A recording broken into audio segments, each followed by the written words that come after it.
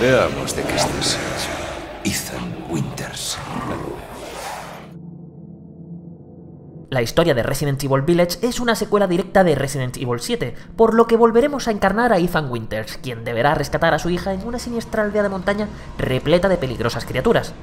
Sobre su historia no nos vamos a extender demasiado para no arruinaros ninguna sorpresa, pero sí queremos advertiros de que el guion es un auténtico disparate que no nos ha terminado de convencer. En lo que respecta al juego como tal, comentar que Capcom ha vuelto a apostar por una cámara en primera persona para sumergirnos en una aventura de acción y terror en la que tendremos que avanzar por una serie de escenarios resolviendo puzzles, abriendo puertas, recogiendo recursos y luchando contra un buen número de monstruos que intentarán acabar con nosotros a la mínima que tengan una oportunidad. Si hay algo que hace realmente bien es plantearnos un viaje variadísimo que sabe hacer de la diversidad de situaciones su gran fortaleza.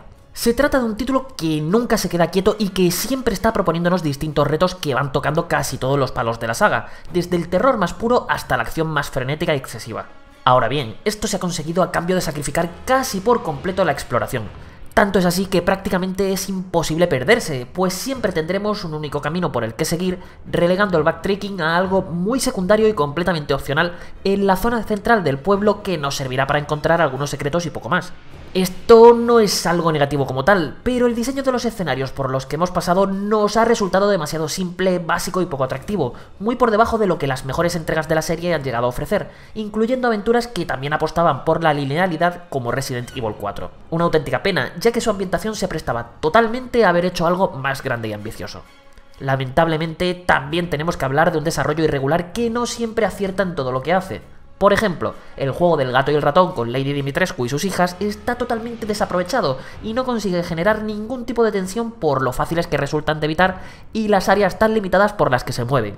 Algo a lo que podremos sumar una sección muy concreta que a nivel de mecánicas parece más propia de un indie cualquiera que de una superproducción.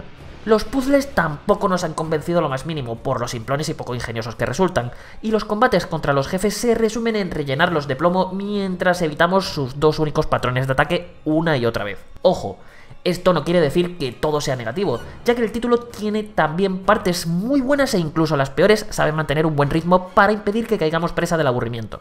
De hecho, la puesta en escena es sensacional, con secciones que son todo un espectáculo y un despliegue de medios, tanto a la hora de pegar tiros como a la de pasar miedo.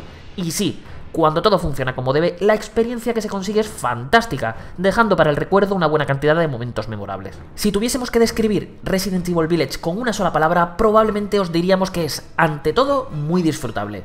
Sí, tiene defectos y se queda unos peldaños por debajo de las mejores entregas de la serie, pero nunca aburre, está repleto de sorpresas, su ambientación es increíble y los nuevos enemigos a los que tenemos que hacer frente nos han gustado muchísimo, tanto por diseño como por sus comportamientos, aportando algo fresco dentro de la serie para obligarnos a plantear los enfrentamientos de un modo distinto.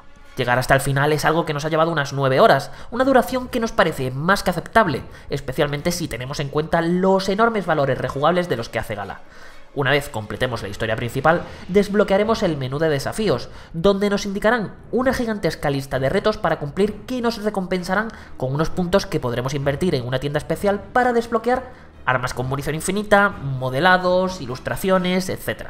Gracias a ello nos animarán a que volvamos a pasarnos el juego en dificultades más altas, a buscar todos los coleccionables y a hacer cosas muy concretas, algo que resulta muy entretenido por la posibilidad de conservar todo nuestro inventario y las mejoras de arma de una partida a otra. Pero, sin duda alguna, la gran estrella aquí la tenemos en el regreso del modo mercenarios, todo un clásico de la serie que por fin vuelve y que resulta tan adictivo como lo recordábamos. No podremos acceder a él hasta terminar la aventura por primera vez, pero una vez lo tengamos desbloqueado podremos disfrutar de una modalidad totalmente arcade que nos propondrá superar una serie de arenas a contrarreloj encadenando tantas muertes como podamos para aumentar nuestro multiplicador de puntos.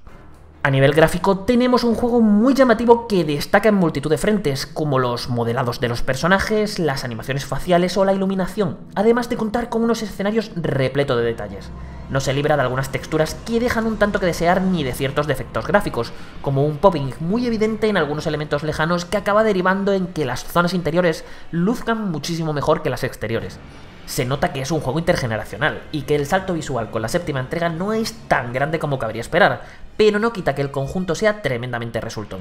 Además, podemos jugar a 4K y 60 FPS en las consolas de nueva generación, aunque os avisamos que el rendimiento es algo más inestable si optamos por activar la opción de Ray Tracing. Eso sí, A su dirección de arte no le podemos poner ni una sola pega, ya que es absolutamente increíble y magistral lo que Capcom ha conseguido hacer aquí, transportándonos de lleno a un mundo fascinante y con una identidad propia muy marcada, algo que se aplica tanto a los escenarios como a los personajes y criaturas.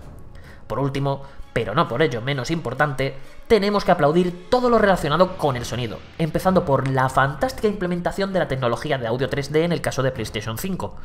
Tampoco nos podemos olvidar de su enorme cantidad de efectos de calidad ni de su arrebatadora banda sonora, cuyas partituras se comportan de manera dinámica. Para rematar, disponemos de un gran doblaje al español. Resident Evil Village es una entrega muy disfrutable con la que nos lo hemos pasado realmente bien, pero que no ha conseguido terminar de enamorarnos. Que nadie se equivoque, se trata de un buen juego que sabe hacer de su ritmo, variedad de situaciones, rejugabilidad y fascinante ambientación sus principales fortalezas para ofrecernos una aventura entretenidísima de principio a fin y repleta de grandes momentos que no conoce la palabra aburrimiento, pero a la que sus errores le impiden codearse con los mejores representantes de la saga. Teniendo esto claro, si os gusta la serie y os atrae lo que aquí nos proponen, encontraréis una compra muy recomendable a la que haríais bien en darle una oportunidad.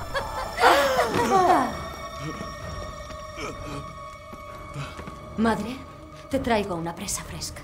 Sois tan amables, hijas mías. Veamos al caballero.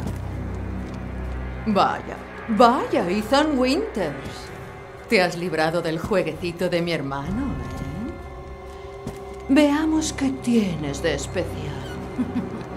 Sí, madre, sí, madre.